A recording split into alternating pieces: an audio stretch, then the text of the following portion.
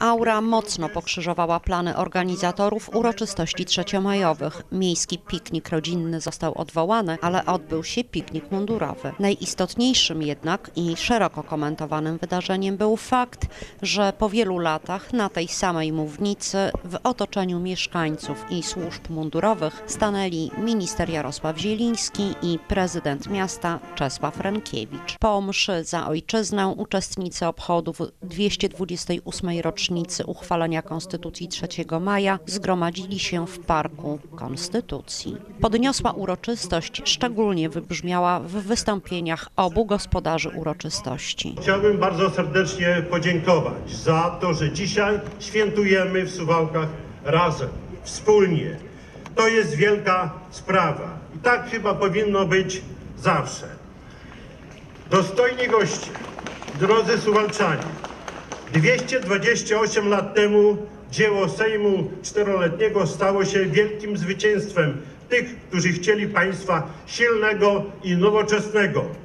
Był to wybitny dokument przyszłościowy, dowód patriotyzmu polskich elit ówczesnej Rzeczypospolitej, ale również wyrażał on troskę, gotowość naprawy państwa polskiego.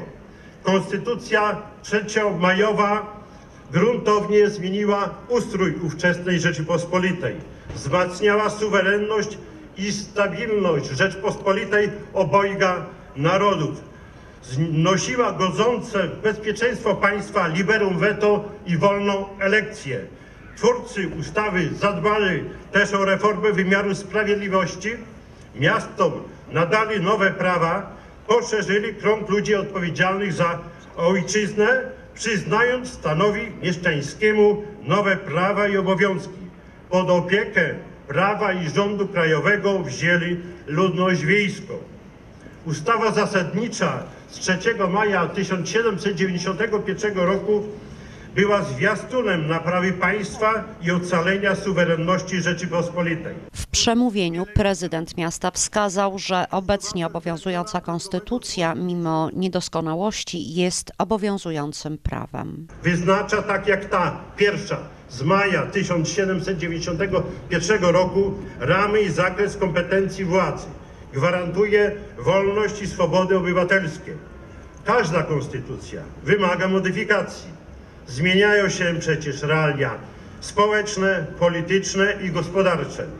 Dostrzegali to również twórcy Konstytucji Majowej, zapisując potrzebę jej zmian co 25 lat. Dzisiaj też dostrzegamy wiele mankamentów obecnie obowiązującej Konstytucji i jej nieaktualność, jak chociażby brak zapisów o naszym członkostwie w Unii Europejskiej. Ale żeby ją zmienić, potrzebny jest konsensus i parlamentarna większość konstytucyjna. Nie powinniśmy dokonywać tego pośpiechu, bez należytego przygotowania i bez powszechnej, publicznej debaty. Przede wszystkim oddajemy hołd twórcom Konstytucji 3 maja. Wyrażamy dla nich wielką wdzięczność, że podjęli się trudu ratowania chylącej się ku upadkowi I Rzeczypospolitej. Jesteśmy dumni z tego dzieła i jesteśmy dumni z tego, że jesteśmy Polakami. Ta chwila, ta rocznica to jest właściwy moment, żeby wrócić refleksją do przeszłości, ale także do tego, żeby zastanowić się nad teraźniejszością i przyszłością i zadać pytanie, czego tamte wydarzenia powinny nas, współczesne pokolenia, nauczyć. I sądzę, że ta refleksja powinna być szersza niż samo odniesienie się do konstytucji, do tego wielkiego dzieła myśli państwowej, myśli konstytucyjnej, bo to dzieło było niezwykle ważne, było postępowe, było próbą, jak powiedziałem, ratowania Polski. Dumni jesteśmy z tego, że Konstytucja 3 maja była pierwszym takim dokumentem, tak dojrzałym, tak nowoczesnym w Europie i drugim po amerykańskiej konstytucji na świecie. Ale cóż z konstytucji, nawet najlepszej, kiedy nie ma własnego państwa? Polska straciła niepodległość zaraz potem, po uchwaleniu przez Sejm Wielki tego wiekopomnego dzieła. Cóż z konstytucji nawet najlepszej, kiedy nie ma państwa? Państwo jest wielką i podstawową wartością. I dopiero konstytucja, która służy temu państwu, ma właściwe znaczenie. Dlatego też trzeba powrócić do tamtych czasów z myślą o tym, co przed nami, co nas otacza, jakie są nasze zadania. Szanowni Państwo, warto sobie uzmysłowić, że Pierwsza Rzecz- Rzeczpospolita była wielkim, potężnym państwem. Była mocarstwem europejskim. Przez kilka wieków nic w Europie nie mogło się ważnego zdarzyć bez udziału, zgody, aprobaty Polski. I potem ta potężna Rzeczpospolita obojga narodów upadła. Przestała istnieć na długie lata, na wiele pokoleń, na 123 długie, mroczne lata zaborów. Konstytucja 3 maja stała się testamentem do wypełnienia, ale odłożonym w czasie, bo nie można było jej zrealizować zaraz potem. Było za późno. I właśnie ta myśl prowadzi ku refleksji, żeby robić wszystko na czas, żeby przewidywać zag- zagrożenia, żeby wzmacniać niepodległe, suwerenne państwo tak, by nigdy ono nie zostało zagrożone takim upadkiem, jak to się stało właśnie po drugim, po pierwszym, potem drugim, trzecim rozbiorze. Dzisiaj cieszymy się z naszej obecności w strukturach europejskich, zachodnioeuropejskich.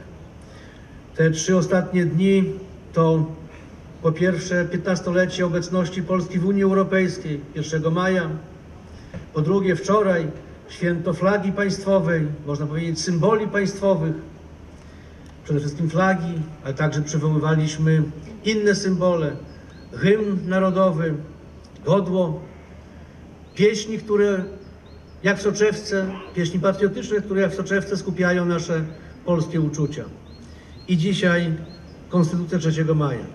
To wszystko ze sobą się łączy, bo żeby zrealizować polskie marzenia, dzisiaj, kiedy należymy do ważnych i dających gwarancję bezpieczeństwa i rozwoju struktur, o które walczyliśmy przecież przez pokolenia, o których marzyli Polacy wtedy, kiedy to nie było dostępne. My sami o tym marzyliśmy w okresie komunizmu. Chcieliśmy być częścią Zachodu, tak jak to wynika z naszej ponad tysiącletniej historii. Ale trzeba było wielu wysiłków, trzeba było wielkiego ruchu Solidarności, żeby obalić mur berliński, żeby Polska mogła wybić się ponownie po latach komunistycznej, sowieckiej niewoli na niepodległość. I dzisiaj gwarancją tego, aby nasze marzenia się spełniły, jest nasza mądra, państwowa, narodowa obecność w strukturach europejskich. Trzeba umacniać polskie państwo. Trzeba doceniać tę wielką wartość, wartość niepowtarzalną, wartość fundamentalną, wartość prymarną, jaką jest niepodległość. Tak jak Konstytucja nie dała niepodległości, bo państwa zabrakło, tak teraz Unia Europejska i NATO nie załatwią za nas tego, co do nas należy. Ale chcemy być razem, chcemy być solidarni, chcemy kształtować świat europejski i ład i porządek światowy na zasadach pokoju, dobrego sąsiedztwa, przyjaźni, współpracy i rozwoju wszystkich. Chcę pozdrowić wszystkich tutaj obecnych, bardzo licznie zgromadzonych, uczestników tej uroczystości i w cywilu, i w mundurach i wyrazić wielką radość, że jesteśmy tutaj po to, by umacniać nasz patriotyzm, by szukać mądrości i szukać jak największych pokładów tych uczuć, które dobrze będą służyły Polsce. Po przemówieniach odbył się apel pamięci, po którym oddano salwę honorową. Pary! Albo!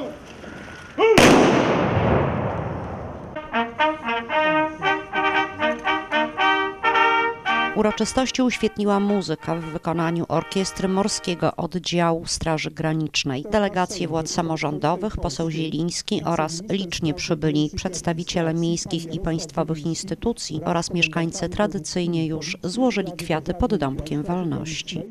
nad inspektorem Danielem Kołmierowiczem, nad